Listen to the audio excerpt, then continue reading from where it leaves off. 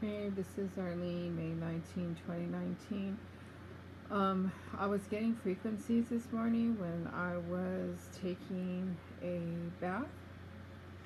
So these were the frequencies to my entire body.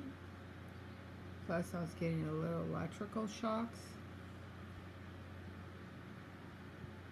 You'll see the picture's fuzzy because of the frequencies. And I'm pretty sure it was coming, you'll see how close the Edison line is. And then there's also a satellite line that's dangling on the side um, here. And um, they actually do touch each other on windy days.